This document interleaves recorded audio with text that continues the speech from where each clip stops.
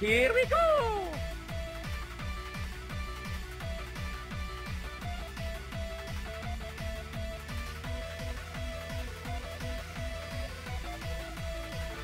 You're the last one. Complete the mission.